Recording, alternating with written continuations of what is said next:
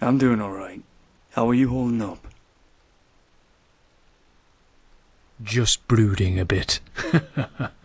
About how you managed to fill the void within my heart that I never knew existed.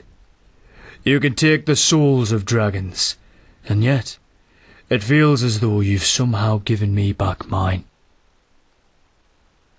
I don't know how a rugged man like me deserved to be with a dragon with a gentle soul like yours, but I love every minute of it. You complete me. Come hither.